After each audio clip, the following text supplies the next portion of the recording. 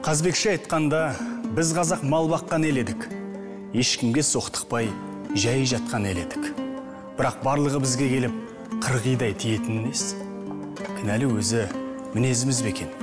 Бұл беймәлім. Бірақ бір анығы талай асыл ерлеріміз осы қаймана қазақтың жолында құрбан болды алаш қайраткерлері саяси кеңістікте аты бар жандардан бөлек өнердің кемесіндегі қаншама таланттарымыз су түбіне кетті емес пе бүгін сондай алыптардың бірі әміре қашаубаевтың жәдігерлерін көрсетіп аянышты ғұмырын айтамыз. Арма алталаш бұл жәдігер бағдарламасы.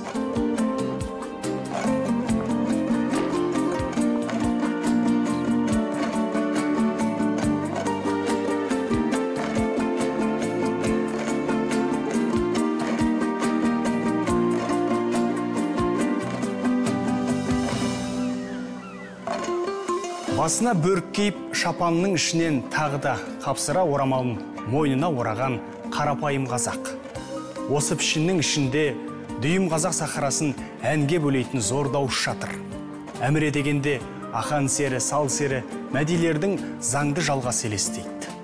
Иә ол ән айтқанда тұла бойың ән құдіретін толық сезініп денең тітіркеніп кетеді дейді көз көргендер. Әлемге қазақтың әншілік өнерін танытқан қайталанбас тұлға.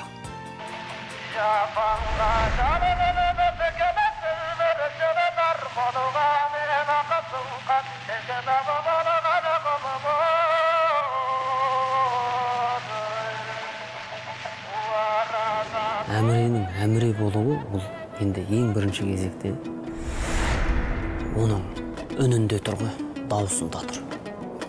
Ә, бұл біздің мына қазақ даласында бүгін мекенде бүгінгі таңда өмір сүріп жатқан тіпті қазақтардың арасында әміремен пара пар келетін әнші жоқ. Неге дегенде ол өзі әміре оқымаған құдайдың берген кәдімгі үнін сақтап қалған қазақ. Оның үні мына кәсіби әлемдік деңгейдегі вокалға қойылатын талаптар болады ғой. Сол талапқа толық жауап береді әміренің үні. Диапазон жағыдан, жағынан да оның бояу жағынан да үнінің ашықтығы жағынан қалықтап ұшатындығы жағынан да дыбысының ауқымдылығы жағынан міне ә, осындай өзі критерийлер болады дауысқа қойылатын. Соның барлығына әміренің дауысы жауап береді әміре сарыарқаның солтүстігіндегі дегелең тауының етегінде туды. Қазір бұл жер шығыс қазақстан облысындағы абыралы ауданына қарайтын қайнар деген ауыл. Әміренің көмейіне біткен зор дауыс әншілік қабілет осы даланың топырағынан дегелеңнің ауасынан дарыған. Ортанқол шаруа отбасында тәрбиеленді. Әкеден ерте айырылып шаруаға ерте араласқан әміренің бағы жанған сәті париж сахнасы еді.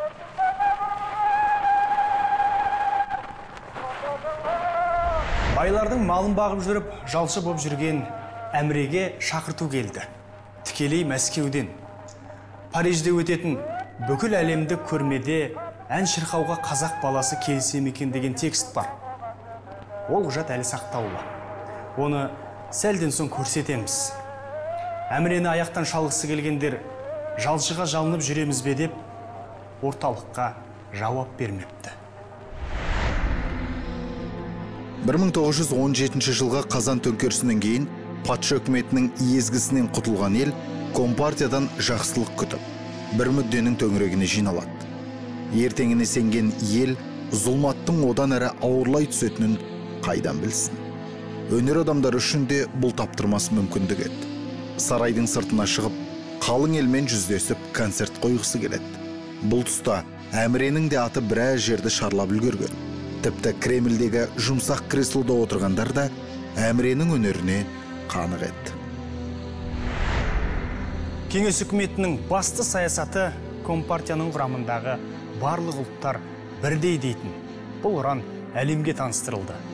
Ал сол бұдан ұлттардың басын біріктіретін өнер сайысы еді сол үшін де өзге халықтардан париждегі көрмеге өнерпаздарды жинады. Семей губерниясына әмірені шақыртып жазған жедел хат осы саясаттан шыққан болатын. Айғайға аттан қосып әмірені аяқтан тартушылар хатқа жауап бермеген соң көп уақыт өттірмей сол кездегі халық ағарту комиссары луначарскийдің өзі қол қойған тағы бір жедел хат келеді. Амал таусылғандар әмірені пойызға отырғызып мәскеуге аттандырады мәскеуден парижге сапар шегетін қазақ баласының өз ұлтын әлемге танытатын басты мүмкіндігі осы кезде басталды. 1925 жылдың маусым айында семейдің губерниялық оқу бөліміне халық ағарту комиссары луначарскийдің әмірені парижде дүниежүзілік көрмеде өтетін халықаралық конгрестің этнографиялық концертіне қатысу үшін арнайы жіберген шақырту қағазы орналасқан жері қазақстан республикасы мемлекеттік орталық музейі. Әміре қашаубаевтың францияға сапарындағы шетелге шығу төлқұжаты. Халықаралық конгрестің этнографиялық концертінде ағашая қанапия үш тос жалғыз арша қос барабан әндерін орындап екінші бәйгемен қоса күміс медальмен марапатталады. Әміре қашаубаевтың германияға сапарындағы шетелге шығу төлқұжаты. Әміре 1927 жылы германияның майндағы франкфурт қаласында өткен халықаралық музыкалық көрмеде концертке қатысып қазақтың халық әндерін орындады. Орналасқан жері қазақстан республикасының мемлекеттік орталық музейі. Осы құжатты төс қалтасына салып әміре парижге келді. Әлем халқының аузын аштырып көзін жұмдырып таң қалдырған экспо көрмесі. Әлем әншілерінің арасындағы конкурс. Қазақ әнін ана тілінде салатын әміре бұл байқауға сақадай сай еді. Қос ішекті бұрап бұрап құлақ күйін келтіріп сахнаға шығады. Жан жағына қараған әміре өз көзіне өзі сенер емес. Әлемнің беделді музыканттары зал ішінде қаршадай қазақ баласының өнерін тамашаламақ. Аздан соң ән салғанда жалған дүниені толықтай ұмыта салатын әдетіне басып әміре париж аспанын қазақ әніне әуелетеді. Ғажап. Тау шыңының ең биік нүктесінен шыққандай зор дауыс бір сәтте етекке біткен бетегедей тым пәс болып құбыла салады. Жағымды дауыс. Бұрын соңды естімеген сазда әуен әрбір тыңдарманның құлақ құрышын қандыруда бітпесе екен деп тілейді іштей. Ал әміре қос көзін тарс шауып өз даласын көз алдына елестетіп қазақ әуенін шырқауда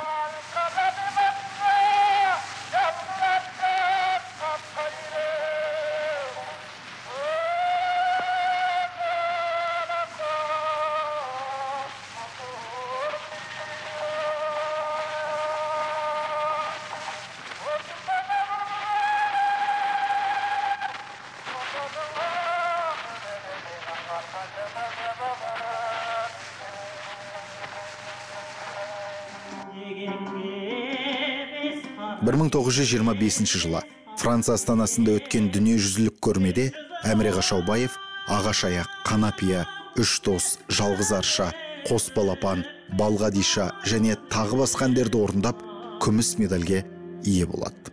Париж апталығы газеті мен ле мюзикал журналы оның сирек кездесетін талант екенін жазады. Ал саброна университетінің профессоры перно фонографқа әміренің орындауындағы бірнеше әнді жазып алады. Француз баспалары әміре туралы жарыса жаза жөнеледі. Қаршадай қазақ баласы күллі жаһанды аузына қаратты. Қазақ деген халықтың қасиетті өнері бар ғаламның аузының су құрып айтатын әңгімесіне айналды. Әлемдік деңгейде өзі мысалы опера саласында ә, дельмонако деген әнші бар болған. Ә, одан кейін осы біз көзіміз көріп көк жәшікпен тыңдап ә, естіген лучано поворотти деген әнші бар. Бұл екеуі де ә, опера ә, саласындағы әлемді мойындатқан тұлғалар. Ә, міне әміре үні жағынан да қабілеті дарыны жағынан да осы кісілермен қатар тұрады қазақ кей жағдайда бір саты жоғары қоюымызға да болады да себебі әміре оқымаған қазақ му- музыкалық сауаты болмаған ал мына екеуі кәдімгі дауысты тәрбиелеп шыңдап шығарған ә, консерватория көрген адам сол есептен алғанда біздің әміре тіпті бір саты жоғары тұруы тиіс деп ойлаймын ал енді әміре парижге барып келгеннен кейін әмірені қинайды. Нквд ның жаңағы абақтысын алып барып оны неше түрлі азаптайды сахнадан аластатып тастайды. Бұған дейін қай қазақтың баласы еуропаның төрінде ән салып немесе жыр арнап еді бұл бақыт әміреге бұйырды. Бақыт дейміз ау. Парижден кейінгі әміренің күйін білген әрбір жан мұның бақ па әлде сор ма екенін өз пайымдар. Қашаубаев елге оралысымен қудалаудың астында қалды. Тағы да сол нквд. Қазақ зиялыларының түбіне жеткен атың өшкір нквд. Күнде тергеу күнде зобалаң. Өзінше ән салып саясатта мүлдем алыс әміренің бар кінәсі парижде мұстафа шоқаймен кездесу еді. Әміре қашаубаевтың 1927 жылғы 6 маусым күні басқармаға шақыртылып тергеушілер алдында берген жауабынан.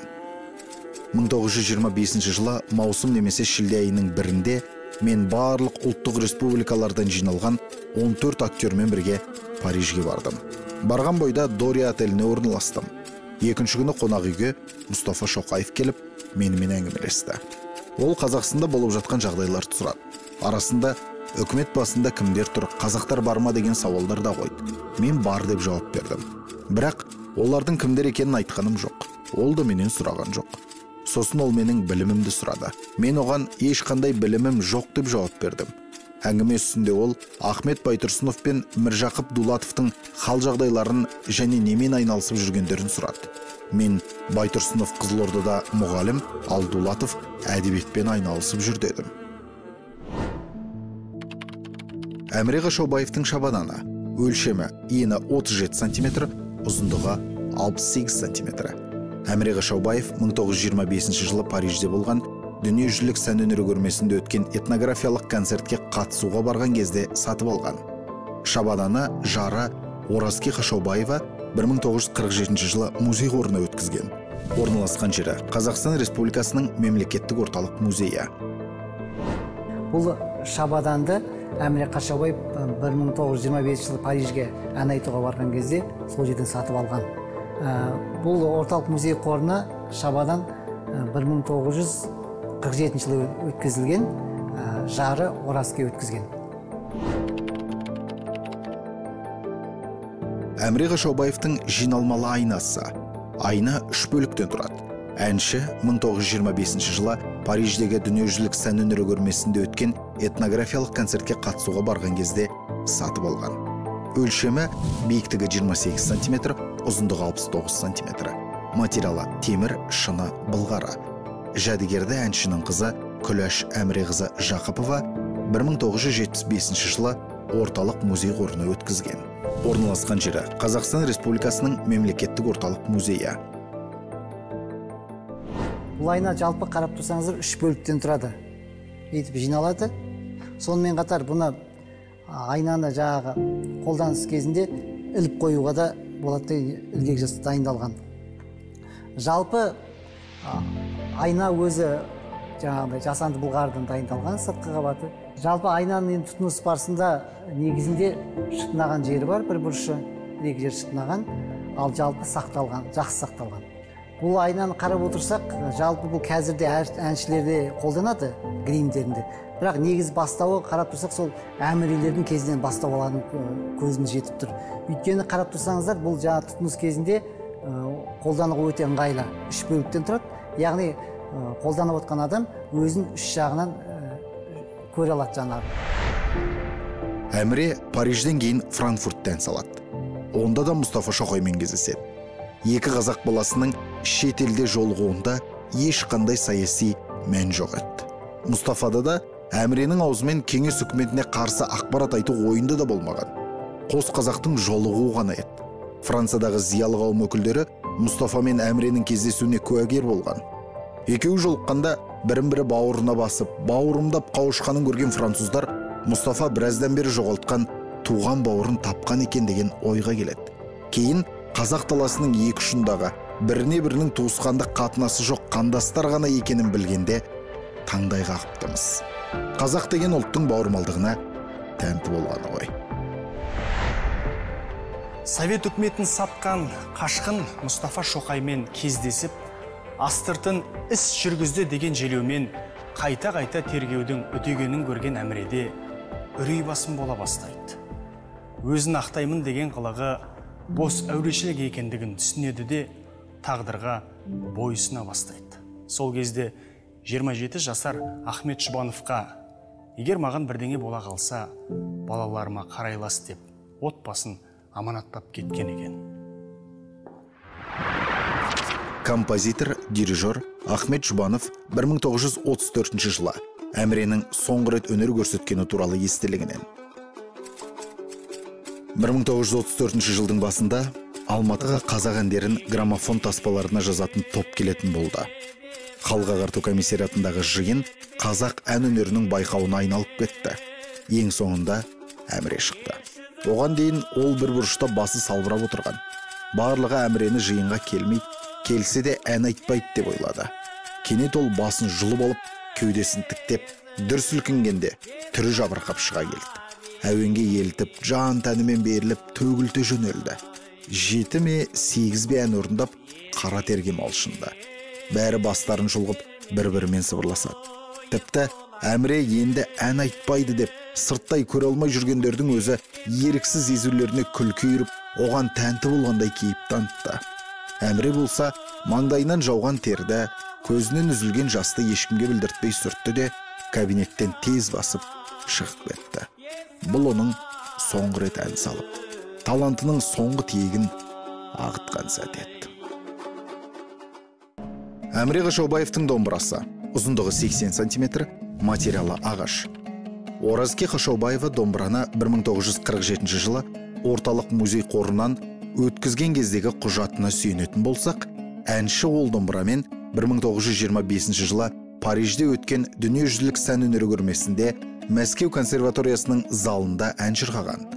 Әнші қайтыс болғаннан кейін домбыраны біраз уақыт халық әртісі жүсіпбек елебеков әнші нұғыман әбішев қолданған.